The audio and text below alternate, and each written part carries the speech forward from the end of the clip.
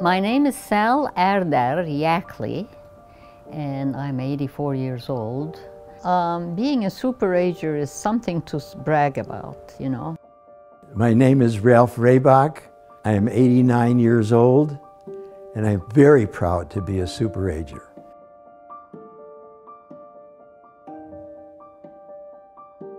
I want the world to understand that aging is not always bad. Aging can be not just good, it can be super.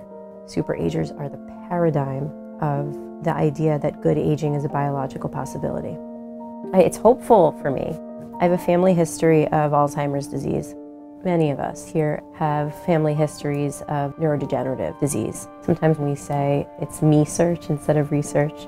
It drives a lot of our hard work and dedication. It's not just about our participants and our friends, it's our family, it's it's everyone around us. It's ourselves. And super aging gives hope. So super agers are defined according to their memory. These individuals are all over 80 years old, but they have the memory capacity of individuals who are in their 50s and 60s, sometimes even younger than that.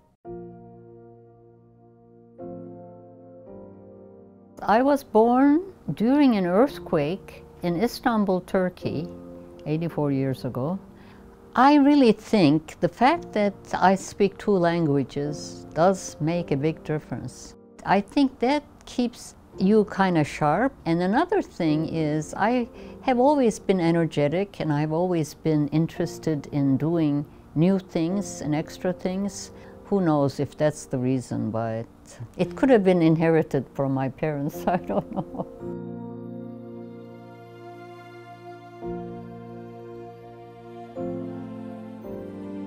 Part of the super aging study requires that we follow these individuals cognitively.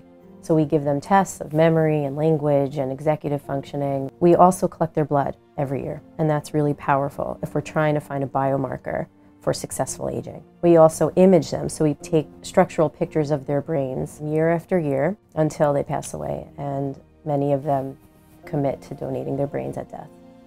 I'm in this very unique position where I'm able to study these super agers during life. And then I'm offered this incredible opportunity to study their brains post-mortem. The findings from those studies to me are the most incredible. For example, we found in one study that the neurons of super agers are extremely plump. They're bigger, they're healthier than their cognitively normal, same aged peers. And that's really powerful.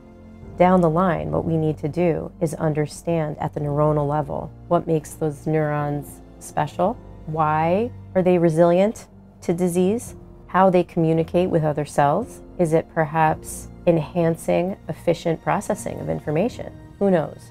But we're working very systematically to answer all those questions.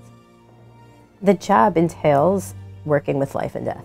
So it's also a study of humanity. It's a study of my connection with people, how I view aging, time, human life, human death.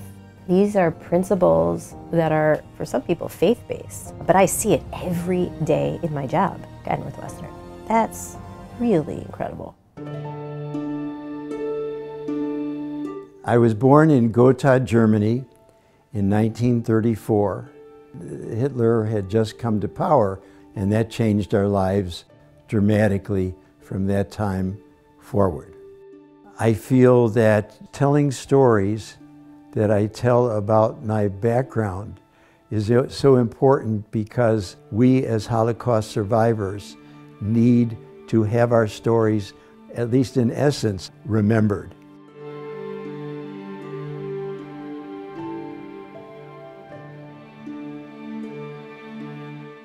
I think that many of them are emotionally resilient.